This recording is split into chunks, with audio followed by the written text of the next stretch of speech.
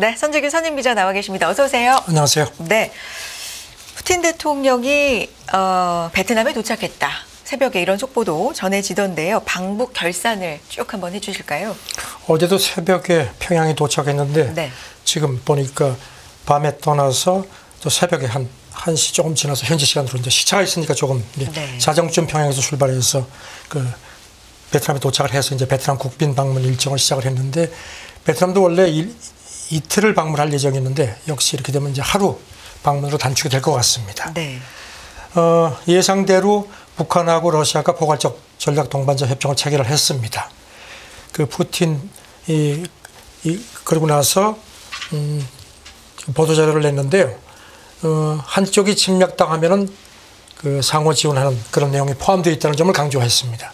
그리고 또 정상회담 하기 전에 그 북한 옛 전쟁에 그 소련군이 참전을 했었다 이런 점도 이렇게 부각을 시켜서 예, 조금 좀 서방을 좀 자극을 했습니다.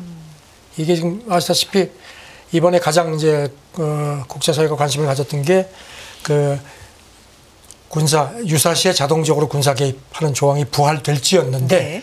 거기까지는 가지 않았는데 일단 상당히 그 근접한 효과를 낸 걸로 그렇게 보입니다. 네.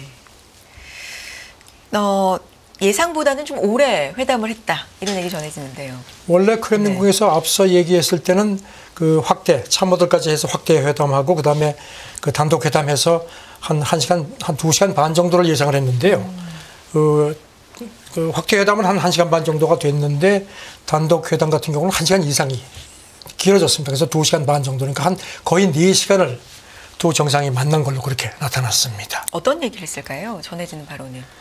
어, 뭐, 그, 상당히 그, 그, 그 이제 관계가 업그레이드 된다는 점을 게- 계속 강조를 했습니다.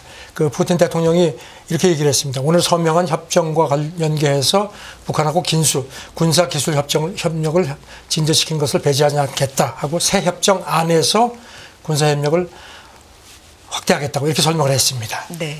그리고 이제 김정은 위원장은 두 나라가 동맹 관계라는 새로운 높은 수준에 올라섰다 이렇게 강조를 했는데 그런데 푸틴은 이걸 조금 여기서 동맹이라는 표현을 쓰질 않았습니다.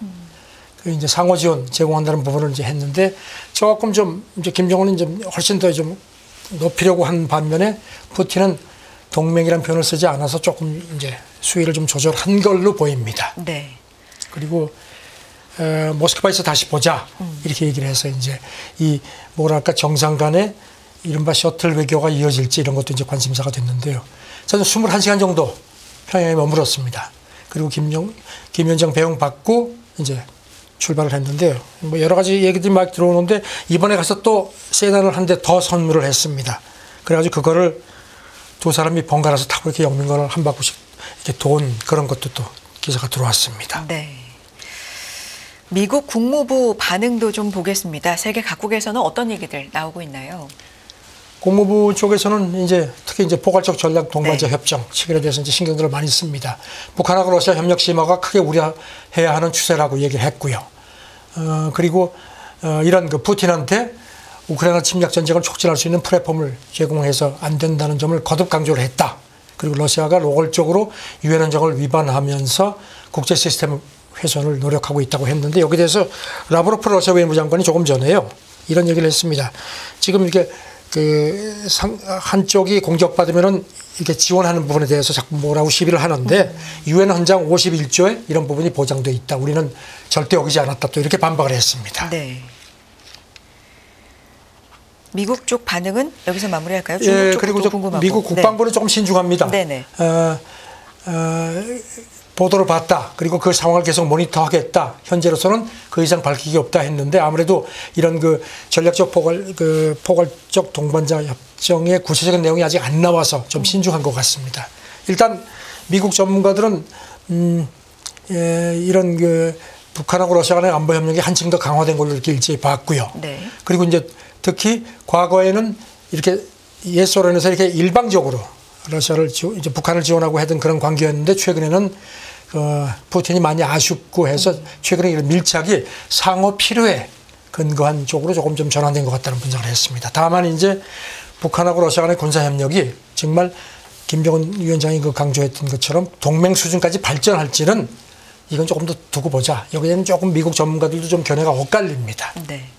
어제도 중국에서는 경계라는 얘기가 나온다. 전해주셨는데 반응이 있었습니까? 추가로? 어, 일단 그, 저, 중국 외교부는 계속 약간 거리두는 입장을 취하고요. 물론 뭐 이런 두 나라 간의 어떤 이런 그 전략적인 이런 거, 뭐 의미를 부여를 했습니다. 네. 어, 관영통신 신화도 그렇고, 뭐, 어, 영문 매체인 글로벌 타임스도 그렇고, 이런, 에, 전략적으로 큰 의미가 있다.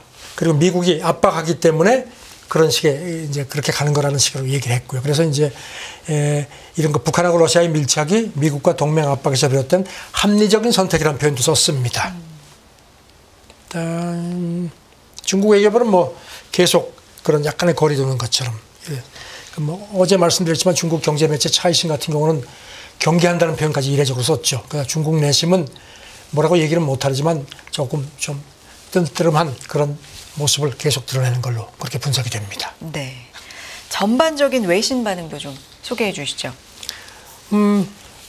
포괄적 전- 전략동반자 협정이 냉전 이래 가장 강력한 북한하고 러시아 간의 어떤 그, 그 밀착이라는 표현을 썼고요. 그래서 서방 불안이 더 커질 거다 이렇게 표현을 했고요. 어, 그리고 이제 워싱턴 포스트, 저 월스트리트저널 같은 경우는 이제 아까 중국 부분에 대해서 최근 몇 달 사이에 러시아하고 북한이 식량, 뭐 석유, 무기까지 많은 거를 교환하고 있는데 그래 여기 대해서 이제 중국이 이렇게 되면 이제 북한하고 북한의 핵 미사일 위협 증가 이게 이제 러시아가 이제 고급 기술을 제공할 수도 있고 해서 그렇게 되면은 그 영내에 주둔하는 미군의 범위가 확, 미군이 그 확대될 수 있는 그런 계기가 될 수 있다는 점을 중국이 좀 우려하는 것 같다는 그런 분석도 했습니다. 네. 그리고 이제 앞으로 예, 러시아가 이렇게 이제 대북 제재 지난번에 그 대북 제재 위원회 그 임무 연장을 러시아가 거부권 행사해서 이게 연장이 안 됐지 않습니까? 그래서 그런 식으로 해서 앞으로 대북 제재 완화를 위해서 러시아가 어떤 식으로 움직일지 이것도 주목이 된다는 그런 논평도 했습니다. 알겠습니다.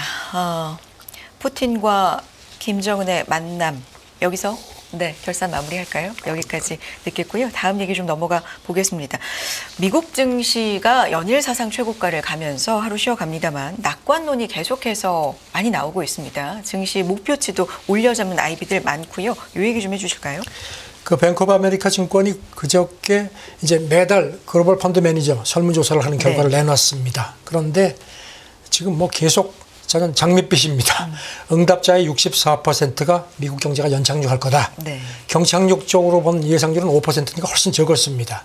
그리고 또 뭐 지금 최근 Magnificent Seven에 대해서 조금 회의적인 시각도 있지만 여전히 펀드 매니저들이 깊게 발을 담그고 있다는 그런 그래서 2020년 10월 이후에 이 보유 규모가 가장 많다는 그렇게 많, 많은 걸로 그렇게 분- 조사가 됐고요. 네.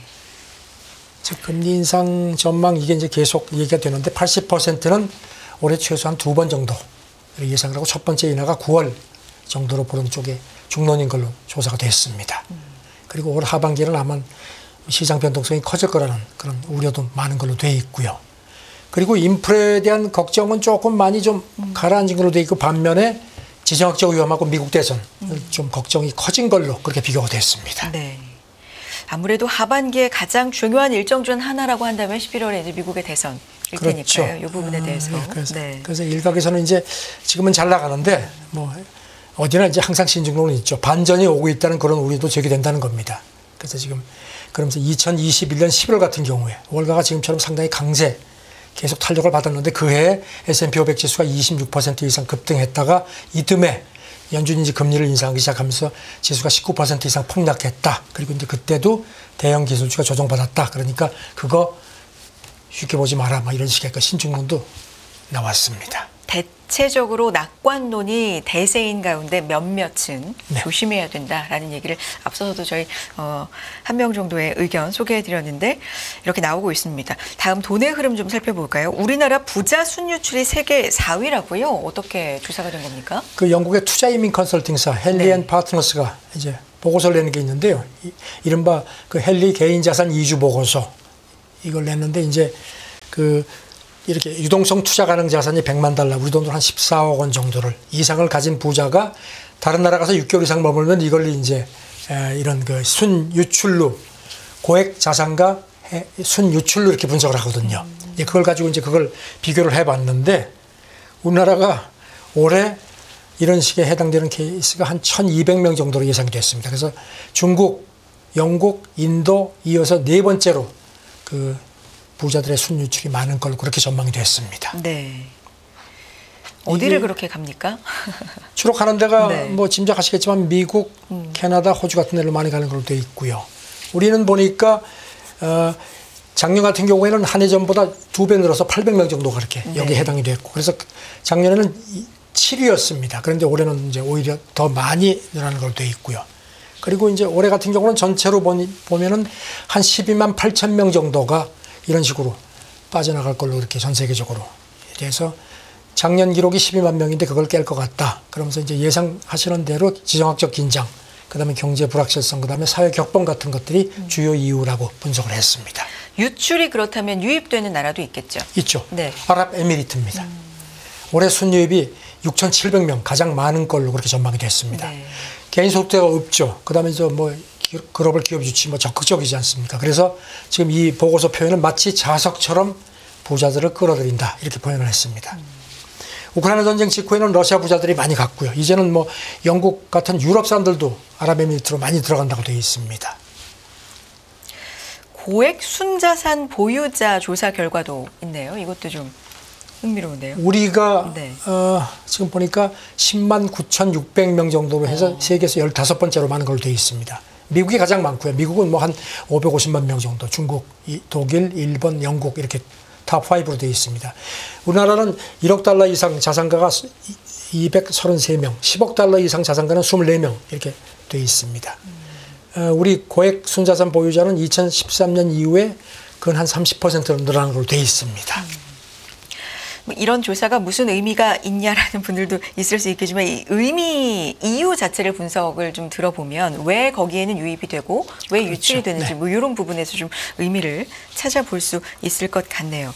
다음 얘기해 보겠습니다. 이스라엘 레바논 공격 승인. 어, 저희 이 얘기를 한동안 좀 그렇죠. 안 네, 했었잖아요. 그래서 제가 좀 스토리를, 정리를 해봤습니다. 네, 정리 네. 좀 해주시죠. 지금 보면은 어, 지금 라파 전쟁은 거의 마무리 단계에 갔다는 게 워싱턴 포스트 분석입니다. 네. 어, 라파 공격이 잠정적으로 좀 종료되면서 이제 가자 전쟁이 8개월째 이어지고 있죠. 그래서 대규모 지상전이 일단락 되지 않겠느냐. 그래서 이제 백악관에서는 이걸 좀 이제 휴전도 좀, 좀 몰아붙이고 해서 좀 기회를 보는 것 같은데 반면에 지금 보니까 이스라엘이 자전 이스라엘이 계속 전쟁을 하려고 하네요. 보니까 그 레바논 쪽에 나- 남쪽 레바논 어, 쪽에서 지금 계속 그 헤스볼라가 하고 티격태격 해갔거든요. 그런데 이제 본격적으로 칠 모양입니다. 그 이스라엘군 쪽에서 그저께 레바논 공격 계획을 승인했다고 발표를 했습니다. 이렇게 되면 이제 잘못하면 또 레바논하고의 전면전으로 가는 게 아니라는 그런 걱정들이 있습니다. 네.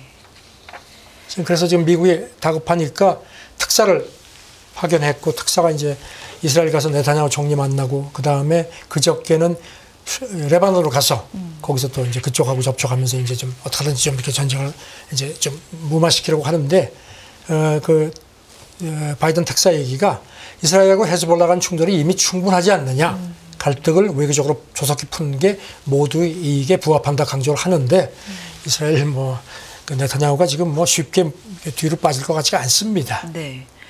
앞서서 이제 8개월간 이어진 대규모 지상전 가자에서 거의 네. 뭐 종료될 조짐이 있다 말씀해 주는데 이게 종전을 의미하는 거는 종전은 아닙니다. 아니고, 이스라엘 쪽에서는 네.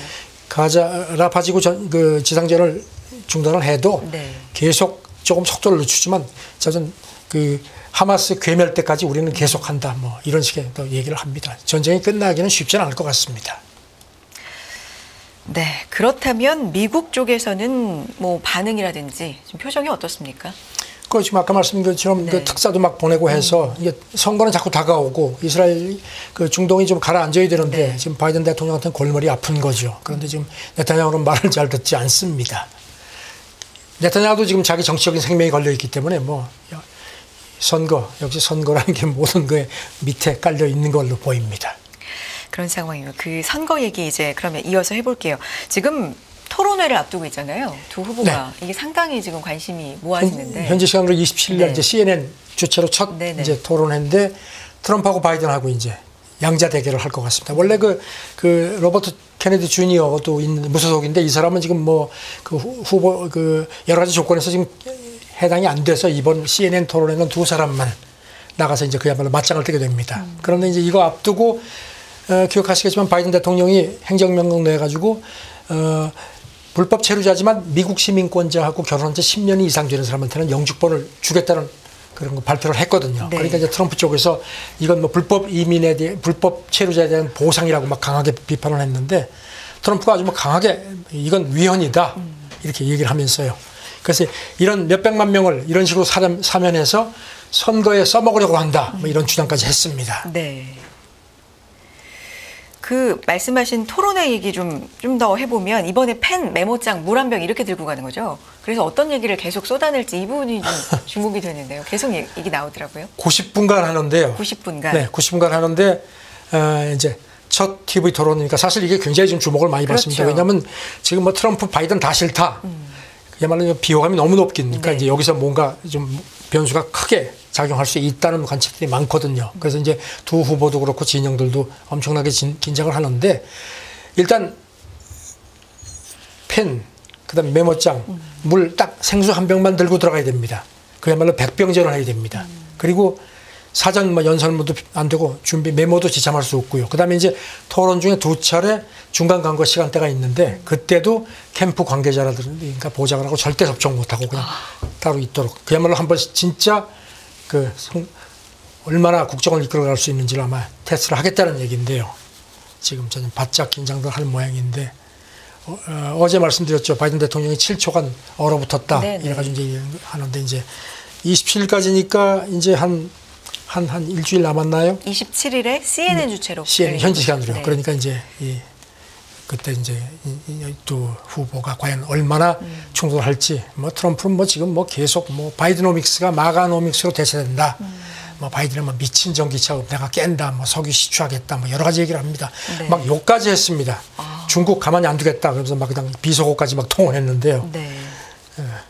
두고 보죠. 뭐 준비를 많이 하겠지만 이렇게 정말 펜 메모장 물 한 병이면 날것의 말들이 나올 그럼요. 가능성이 많기 그럼요. 때문에 주목이 됩니다. 자 마지막 얘기는 아, 미국의 LA 내년부터 공립학교 휴대전화 이용이 전면 금지됩니까? LA는 그 LA 교육통합부가 한 학생이 40만 명이니까 미국에서 네. 두 번째로 큰 교육부입니다. 여기서 내년부터 점심시간 같은 때고 뭐 저는 일체 초, 중 학교 공립 고- 공립 학교는 못 쓰게 했습니다. 네. 이제 학생들한테 그래서 이제 뭐 이 수업 시간에 뭐 몰래 막 이렇게 휴대폰 보는 건 물론이고 휴식 시간이나 이럴 때도 친구들하고 얘기 안 하고 이것만 계속 본다. 이거는 좋지 않다 이렇게 했는데 캘리포니아 주도 비슷한 조치를 지금 검토를 하는 모양입니다. 네.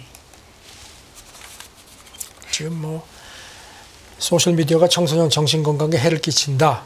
그래서 그렇게 하겠다고 하는데 이제 이게 또 이게 되면 이제 스마트폰 업계에서는 또 이게 또 비상이 걸리겠습니다. 알겠습니다. 여기까지 듣겠습니다. 국제뉴스 선재기 선임 기자와 함께했습니다. 고맙습니다. 네, 감사합니다.